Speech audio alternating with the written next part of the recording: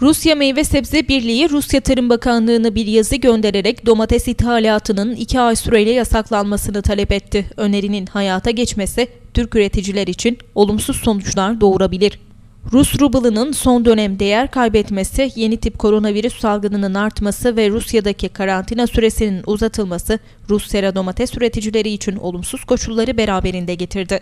Rusya Tarım Bakanlığı'na gönderdiği yazıda oluşan durum nedeniyle domates ve salatalığa talebin azaldığına ve bu ürünlerin toptan fiyatlarının bazı türlerde geçen yılın aynı dönemine kıyasla %50 düştüğüne dikkat çeken birlik, mevcut salatalık ve domates fiyatlarının Rusya'da sera işletmeciliğini kazançsız hale getirdiğinin altını çizdi. Rus pazarına ithal domates gelmeye devam ediyor ve 2019 yılında bunların pazardaki payı %52 idi.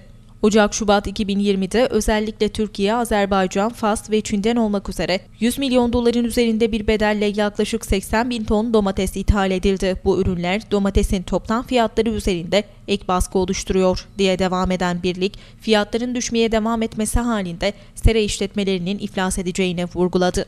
Birlik, ithalatın kısıtlanmasının sebze pazarındaki durumun daha da kötüye gitmesine engel olacağını kaydetti. Rus basınına konuşan Molido Ticaret Merkezi Genel Müdürü Vacif Biklov, karantina uygulanan bölgelerde sebze ve meyveye talebin ciddi oranda azaldığına dikkat çekti. Biklov, toptan fiyatların düşmesiyle birlikte sera işletmelerinin karlılık sorunuyla ve finansal sürdürülebilirlik riskiyle karşı karşıya kaldığını da vurguladı. Rusya Meyve Sebze Birliği'nin sunduğu önerinin kabul edilmesi halinde Rusya'ya domates ihracatında belirgin bir düşüş yaşanabilir. 2015'teki uçak krizinden önce Türkiye, Rusya'ya da yılda yaklaşık 340 bin ton domates ihraç ediyordu.